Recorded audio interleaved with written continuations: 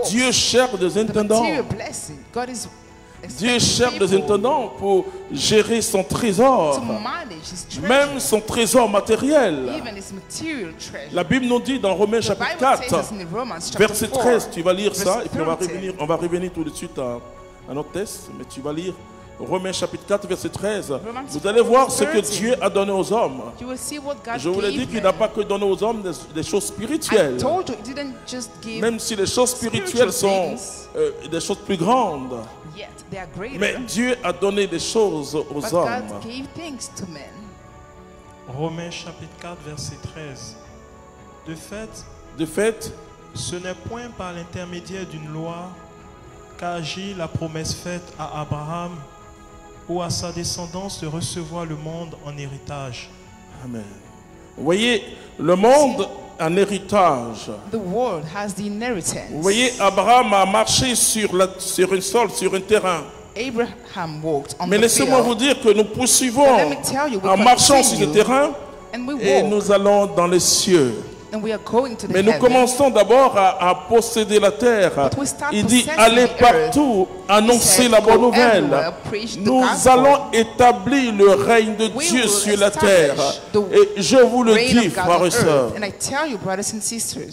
le règne de Dieu s'établit par la puissance du the Saint-Esprit. reign of God is established through the power of the Holy Spirit. La puissance du Saint-Esprit. The power of the Et l'amour doit entrer dans les cœurs. And love should Quand l'amour entre dans les cœurs, alors then le règne de Dieu. Est-ce que le règne de Dieu est dans ta maison? is Si le règne de Dieu est dans ta maison, c'est que l'amour est dans ta maison. it means love is in your house. Et quand l'amour est dans ta maison, laissez-moi vous dire, house, il y a la paix, il y a la joie, alléluia.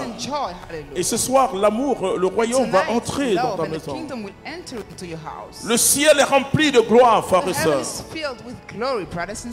Et je demande une chose à Dieu pour vous. And I ask something to God for you. Et c'est la chose que les hommes regardent le plus aujourd'hui. That's the thing that men are looking at Mais moi, je vous dis de regarder Dieu. But I tell you, look to Je God. dis à Dieu, tous ceux qui vont entendre ce, ce message, And I ask God, all those that will hear rends-les this riches message, matériellement. make them Alléluia. rich materially.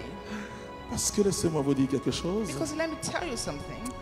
C'est devenir un signe pour les hommes de ce monde. It has become a sign for people in this world. Ils nous regardent, ils regardent les chrétiens. They are looking at Christians. Moi, ma vocation, c'est d'annoncer Jésus-Christ. My vocation is to proclaim Mais Jesus. toi, ta vocation, c'est d'être élevé dans les nations, But your call is to be lifted d'occuper in des the postes de nations, responsabilité, have ou bien d'être titles, une puissante femme d'affaires ou homme d'affaires. or be a Ça, c'est ta businessman vocation. or businesswoman. That's your Ta vocation, c'est ça. That's your call. Nous, nous sommes des laïcs assez- We are d'une laïcs race assez bizarre, qui vivent from comme a des moines. strange Nous vivons comme des moines. pour faire. We live as monks. Oui. Mais ce que Dieu veut et la But vision de l'Église, c'est que les laïcs sanctifient l'ordre temporel. Mais comment ils pourront sanctifier cet ordre s'ils they ne sont pas impliqués au cœur du pouvoir étatique, au cœur des entreprises, of the au cœur si, si ils ne demandent pas à Dieu de leur donner ce dont ils ont besoin pour impacter le monde. Qu'on ne vous blague pas. Ce soir, je suis là pour vous dire que vous êtes fait pour être heureux sur la terre.